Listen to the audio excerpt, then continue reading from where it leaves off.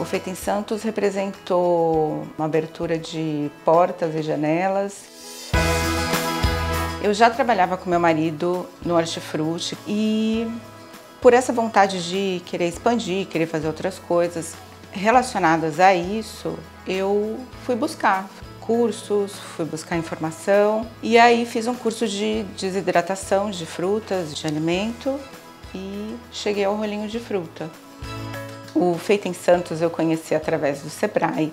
Lá eu fiquei sabendo do projeto da aceleradora proporcionou um amplo conhecimento tanto de finanças, de manipulação de alimentos, de marketing, tudo que a gente tem que saber né, para poder empreender de uma forma muito, muito gostosa, com profissionais muito capacitados e eu gostei bastante, para mim foi bem importante.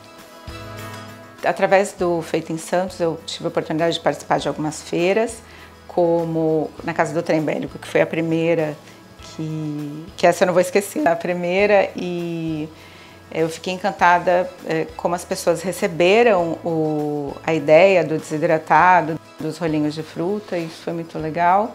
E participei da Feira da Primavera, que também foi um evento grande, vários expositores.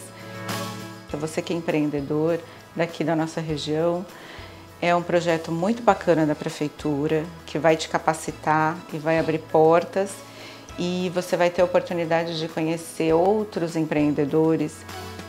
Meu sonho é poder vender para mais pessoas, que mais pessoas conheçam meu trabalho e que mais pessoas se alimentem bem.